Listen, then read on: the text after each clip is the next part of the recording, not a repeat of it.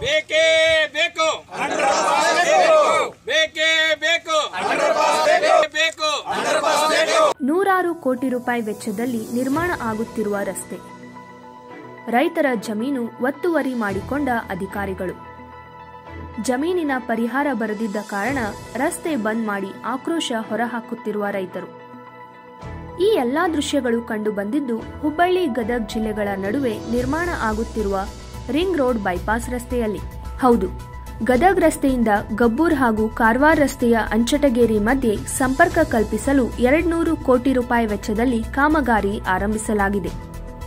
ಈ ರಸ್ತೆ ನಿರ್ಮಾಣದ ವೇಳೆ ರೈತರಿಂದ ರಸ್ತೆಗಾಗಿ ಜಮೀನು ಪಡೆದಿರುವ ಅಧಿಕಾರಿಗಳು ಸರಿಯಾಗಿ ಪರಿಹಾರ ಧನ ನೀಡುತ್ತಿಲ್ಲ.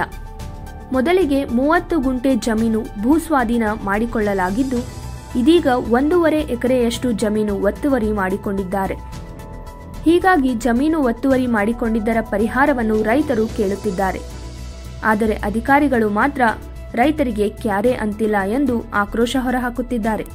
ಬೀಡ್ನಾಳ, ಯಲ್ಲಾಪುರ, ವೀರಾಪುರ ಗ್ರಾಮದ ರೈತರಿಗೆ ಹೊಲಗಳಿಗೆ ಹೋಗಲಿಕ್ಕೆ ತುಂಬ ತೊಂದರೆ ಆಗ್ಯದ. ಯಾಕಂದ್ರೆ ಈ ಮೊದಲ ರಿಂಗ್ ರೋಡ್ ಆಗೋಕ್ಕಿಂತ ಪೂರ್ವದಲ್ಲಿ ನಾವು ಸರಳ ಹೊಲಕ್ಕೆ ಹೋಗ್ತಿದ್ವಿ, ಸರಳ ಹೊಲಕ್ಕೆ ಮನೆ ಬರ್ತಿದ್ವಿ.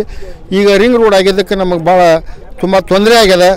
ಸುಮಾರು ಒಂದು ಎರಡು ಕಿಲೋಮೀಟ್ರ್ ದೂರ ಸರ್ವಿಸ್ ರೋಡ್ನಿಂದ ಹೋಗಿ ಸರ್ವಿಸ್ ರೋಡ್ನಿಂದ ಎರಡು ಕಿಲೋಮೀಟ್ರ್ ದೂರ ಮತ್ತು ವಾಪಸ್ ಬಂದು ನಮ್ಮ ಹೊಲಗಳಿಗೆ ಹೋಗಲಿಕ್ಕೆ ನಮಗೆ ಹೇಳಲಿಕ್ಕೆ ಅದರ ಸಲುವಾಗಿ ನಮಗೆ ಕೆಳ ಸೇತುವೆ ಆಗಲಿ ಅಥವಾ ಮೇಲ್ ಸೇತುವೆ ಆಗಲಿ ಮಾಡಿಕೊಡ್ಬೇಕು ಅಂತ ತಿಳ್ಕೊಂಡು ಹೇಳಿ ನಾವು ಎಲ್ಲ ಅಧಿಕಾರಿಗಳಿಗೂ ತಿಳಿಸಿದ್ದೀವಿ.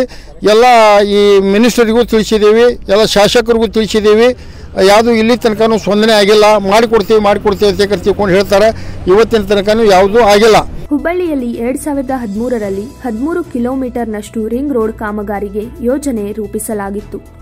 ಅದರಲ್ಲೂ ಗದಗ್ ರಸ್ತೆಯಿಂದ ಗಬ್ಬೂರ್ ಬಳಿಯ ಪೂನಾ ಬೆಂಗಳೂರು ರಾಷ್ಟ್ರೀಯ ಹೆದ್ದಾರಿಗೆ ಸಂಪರ್ಕ ಕಲ್ಪಿಸುವ ರಸ್ತೆ ನಿರ್ಮಾಣವನ್ನು ಎರಡ್ ಸಾವಿರದ ಹದಿನೇಳರಲ್ಲಿ ಆರಂಭಿಸಲಾಗಿದೆ. ಇನ್ನೇನು ಕೆಲವೇ ದಿನಗಳಲ್ಲಿ ರಸ್ತೆ ಕಾಮಗಾರಿ ಪೂರ್ಣಗೊಳ್ಳಲಿದೆ. ಅಲ್ಲದೆ ಈಗಾಗಲೇ ವಾಹನಗಳು ರಸ್ತೆಯ ಮೂಲಕ ಸಂಚಾರವನ್ನು ಸಹ ಆರಂಭಿಸಿವೆ. ಹೀಗಾಗಿ ರಸ್ತೆ ಕಾಮಗಾರಿ ಮುಗಿಯಲು ಬಂದರೂ ಕೂಡ ಇದುವರೆಗೂ ಪರಿಹಾರ ದಿನ ನೀಡುತ್ತಿಲ್ಲ ಅನ್ನೋದು ರೈತರ ಗೋಳಾಗಿದೆ. ಅಲ್ಲದೆ ರಿಂಗ್ ರೋಡ್ನಲ್ಲಿ ಬರುವ ಮೂರು ರಸ್ತೆಗಳಿಗೆ ಮೇಲ್ಸೇತುವೆಯ ನಿರ್ಮಾಣ ಮಾಡಿಲ್ಲ. ಹಳ್ಳಿಗಳಿಗೆ ಹಾಗೂ ರೈತರ ಜಮೀನುಗಳಿಗೆ ಸಂಪರ್ಕ ಕಲ್ಪಿಸುವ ರಸ್ತೆಗಳಿಗೆ ಮೇಲ್ಸೇತುವೆಯ ನಿರ್ಮಾಣ ಮಾಡಬೇಕಿತ್ತು. ಆದರೆ ಅದನ್ನು ಮಾಡದೆ ಮೊದಲು ರಸ್ತೆ ನಿರ್ಮಾಣ ಮಾಡಿದ್ದು, ದಿನನಿತ್ಯ ಜಮೀನುಗಳಿಗೆ ನಮಗೆ ಹೋಗಲು ದಾರಿ ಇಲ್ಲದೆ ಪರದಾಡುವಂತಾಗಿದೆ ಅಂತಾರೆ ರೈತರು. ಮತ್ತು ರಿಂಗ್ ರೋಡಿನ ಕಾಮಗಾರಿ ಬೈಪಾಸ್ ರೋಡಿನ ಕಾಮಗಾರಿಯನ್ನು ನಾವು ಬಂದ್ ಮಾಡಿದ್ದೇವೆ. ಕಾರಣ ಏನಂತಂದರೆ, ರೈತರಿಗೆ ಸರಿಯಾಗಿ ಪರಿಹಾರ ನಿಲ್ಕಿಲ್ಲ. ರಸ್ತೆ ರದಾಟಲು ರೈತರಿಗೆ ಸಮರ್ಪಕ ಸಮರ್ಪಕವಾದ ವ್ಯವಸ್ಥೆ ಇಲ್ಲ. ಈ ಬೈಪಾಸ್ ರೋಡ್ ಮಾಡಿದ್ದಾರಲ್ಲ, ಪೂರ್ತಿ ಅವೈಜ್ಞಾನಿಕ ಇದು. ಈ ರೋಡಿನಲ್ಲಿ ಅಪಘಾತಗಳ ಸಂಖ್ಯೆ ಹೆಚ್ಚಾಗುವ ಸಾಧ್ಯತೆ ಹೆಚ್ಚಿಗೆ ಇದೆ. ರೈತರ ಚಕ್ಕಡಿ ಟ್ಯಾಕ್ಟರ್ ದಾಟಲಿಕ್ಕೆ ವ್ಯವಸ್ಥೆ ಇಲ್ಲ. ಒಂದೇ ಮಾತು. ನಂತರ ರೈತರ ಭೂಮಿಯನ್ನು ತೆಗೆದುಕೊಂಡಿದ್ದು ಫಸ್ಟಿಗೆ ಅವಾರ್ಡ್ ಕೊಟ್ಟಿದ್ದು, ಮೂವತ್ತು ಗುಂಟೆ ಅವಾರ್ಡ್ ಕೊಟ್ಟಿದ್ದಾರೆ. ಈಗ ಸದ್ಯ ನಾವು ರೈತರು ಸರ್ವೆ ಮಾಡಿ ನೋಡ್ಲಿಕ್ಕೆ ಹೋಗಿ ಒಂದು ಎಕರೆ ಹತ್ತು ಗುಂಟೆ, ಒಂದು ಎಕರೆ ಹದಿನೈದು ಗುಂಟೆ ಬರ್ತಿದೆ. ಇದು ಅನ್ಯಾಯ ಆಗಿದೆ ರೈತರಿಗೆ. ಆ ನಂತರ ಎಕರೆಗೆ ಹತ್ತುವರೆ ಲಕ್ಷ ರೂಪಾಯಿ ಅವಾರ್ಡ್ ಮಾಡಿದ್ರು ಎಸ್ ಎಲ್ ಅವರು ಮೊದಲಿಗೆ. ಆ ನಂತರ ಡಿ ಸಿ ಅವ್ರನ್ನ ಆರ್ಬಿಟ್ರೇಟರ್ ನೇಮಕ ಮಾಡಿದಾಗ ಈ ಡಿ ಸಿ ಅವರು ಭಾಳ ಅವೈಜ್ಞಾನಿಕವಾಗಿ ಎಕರೆಗೆ ಒಂದು ಲಕ್ಷ ರೂಪಾಯಿ ನಿಗದಿ ಮಾಡಿದ್ದಾರೆ ರೇಟು. ರೈತರು ದೇಶದ ಬೆನ್ನೆಲುಬು ರೈತನಿಂದ ಉದ್ಧಾರ ಅಂತೆಲ್ಲ ದೊಡ್ಡ ದೊಡ್ಡ ಮಾತು ಹೇಳ್ತಾರೆ. ಆದರೆ ನಿಜವಾಗಿ ಅನ್ಯಾಯ ಆಗ್ತಿರೋದು ರೈತನಿಗೆ. ರೈತರಿಗೆ ಪರ್ಯಾಯ ಪರ್ಯಾಯ ಸರಿಯಾಗಿ ಪರಿಹಾರ ನಿಲ್ಕಿಲ್ಲ. ಇನ್ನು ಮುಂದಾದರೂ ಸಂಬಂಧಪಟ್ಟ ಅಧಿಕಾರಿಗಳು ರೈತರಿಗೆ ಸರಿಯಾಗಿ ಪರಿಹಾರ ಕೊಡಬೇಕು. ರೈತರ ಭೂಮಿ ರೀಸರ್ವೆ ಆಗಬೇಕು. ಈ ರಸ್ತೆಗೆ ಸಂಬಂಧಪಟ್ಟಂಥ ಮೂರು ರಸ್ತೆ ಮೇನ್ ರಸ್ತೆ ಇದೆ.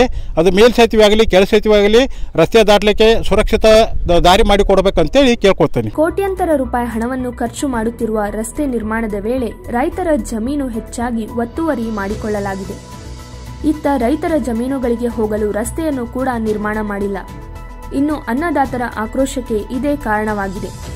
ಇದೀಗ ರಸ್ತೆ ತಡೆದು ರೈತರು ತಮ್ಮ ಅಸಮಾಧಾನವನ್ನು ವ್ಯಕ್ತಪಡಿಸಿದ್ದು, ಜಿಲ್ಲಾಡಳಿತಕ್ಕೆ ಹತ್ತು ದಿನಗಳ ಗಡುವು ನೀಡಿದ್ದಾರೆ. ಸಮಸ್ಯೆಗೆ ಪರಿಹಾರ ನೀಡದೇ ಇದ್ದರೆ ಉಗ್ರ ಹೋರಾಟದ ಎಚ್ಚರಿಕೆಯನ್ನು ಸಹ ರೈತರು ನೀಡಿದ್ದು, ಜಿಲ್ಲಾಡಳಿತ ಇನ್ನಾದರೂ ಎಚ್ಚೆತ್ತುಕೊಳ್ಳುತ್ತದೆಯಾ ಎಂಬುದನ್ನು ಕಾದು ನೋಡಬೇಕಿದೆ.